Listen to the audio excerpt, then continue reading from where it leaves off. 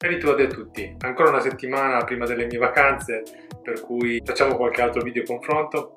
Come stanno andando le vostre vacanze? Siete già in vacanza oppure anche voi state aspettando di andare in vacanza come me?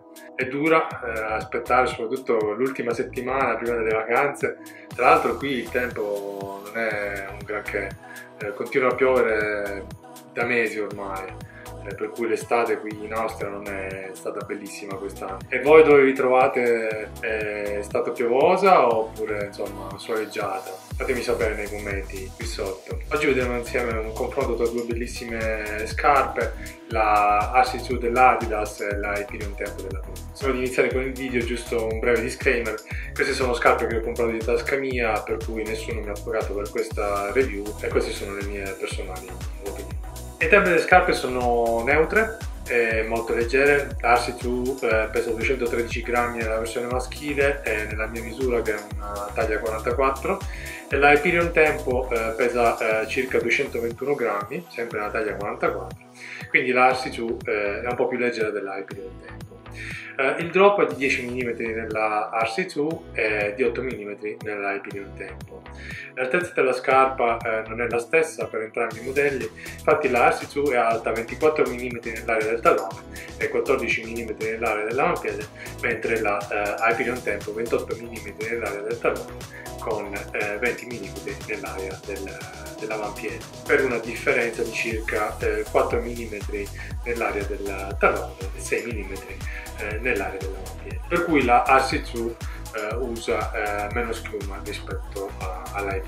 Relativamente alla suola, la RC2 non usa la mescola usata dalla SL20, cioè la Continental, è una gomma che comunque offre un buon grip su diversi superfici di allenamento, come abbiamo già visto nelle altre recensioni. L'ho provata sull'asfalto e sul bagnato e garantisce un, un buon grip mentre la Tyrion Tempo usa una suola in gomma molto dura e resistente ma con un grip che sul bagnato non, non è paragonabile al grip della RC2. Entrambe le suole mi sembrano abbastanza eh, resistenti anche se eh, quella dell'Hyperion Tempo mi sembra un po' più dura e quindi probabilmente più resistente. Passando all'intersuola, l'RC2 usa la nuova tecnologia Light Strike, eh, abbiamo già eh, parlato di questa schiuma diversi video eh, che garantisce sicuramente una buona ammortizzazione e reattività ed è anche più leggera rispetto alla classica boost utilizzata da Adidas nelle altre modelli e favorisce una transizione del piede molto veloce in fase di rullata senza eh, rinunciare però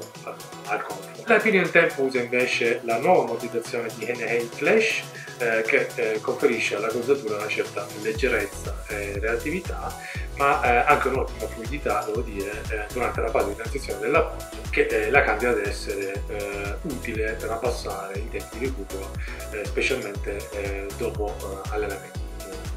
Con la Strike ho fatto circa 70 km ed è ovviamente ancora come nuova.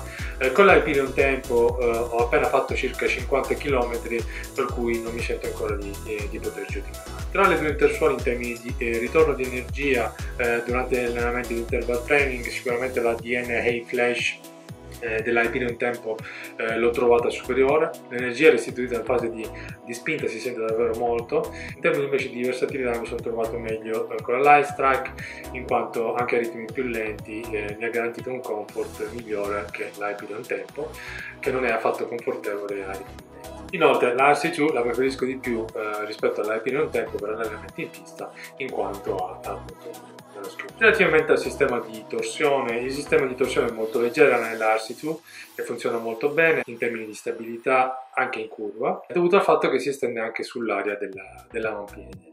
Sull'Hyperion Tempo invece non è presente alcun sistema di torsione e questo si sente molto in termini di stabilità eh, soprattutto se confrontata con la RC2. Per cui se state cercando una scarpa eh, stabile, Pino Tempo non è la scarpa che sicuramente fa per uomo. Per quanto riguarda la superficie del tallone, eh, più o meno si equivalgono, entrambe si estendono per una larghezza di circa 8 cm, ma la in tempo, essendo mh, più alta, avendo più schiuma, garantisce un miglior comfort. L'appoggio del tallone con la Arsisu non è proprio un'esperienza che eh, definirei confortevole. Sulla parte posteriore del tallone entrambe le scarpe offrono una superficie protettiva molto comoda che eh, non arreca alcun fastidio, anzi eh, ne favorisce il comfort. Passando alla tomaia, entrambe le tomaie sono molto, davvero molto leggere, anche durante giornate molto calde. il piede respira molto bene.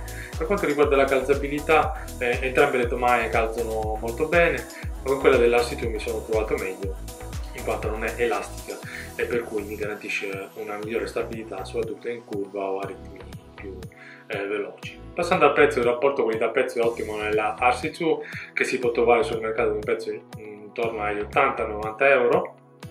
Ed è buono nella Hyperion Tempo che si può trovare eh, sul mercato disponibile a un prezzo intorno ai 130 euro, considerando anche l'innovazione dell'Intersola DNA Flash costruita con il nuovo sistema di infusione eh, di azoto nella schiuma. Relativamente alla durata, eh, direi che entrambe le scarpe sono abbastanza minimal e leggere, per cui non c'è da aspettarsi tanto in termini di eh, durata per entrambe le scarpe, eh, però ho come la sensazione che eh, la tomaia della Epidon Tempo mi lascerà prima di quella della RC2. I lacci sono della misura giusta in entrambe le scarpe, tradizionali nella RC2, elastici nella Epidon Tempo ed il sistema di fissaggio funziona molto bene nell'RC2, un po' meno bene nell'Hyperion Tempo dovuto al fatto che i lacci sono elastici. L'estetica è molto bella, le colorazioni disponibili sono belle per entrambi i modelli, ah, il design dell'Hyperion Tempo mi piace un po' di più rispetto a quello della RC2. In generale, per quanto riguarda la calzabilità della scarpa, piace di più la RC2, quando nella mia misura standard eh, calza molto bene. Per l'Hyperion Tempo ho dovuto prendere una misura in più,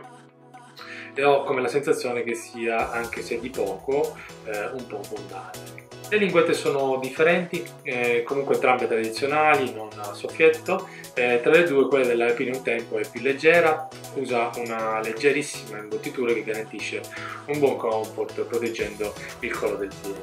Imbottitura migliore nella linguetta della Arce 2 che garantisce un miglior comfort ma sicuramente più pesante e meno traspirante di quella dell'IP del tempo.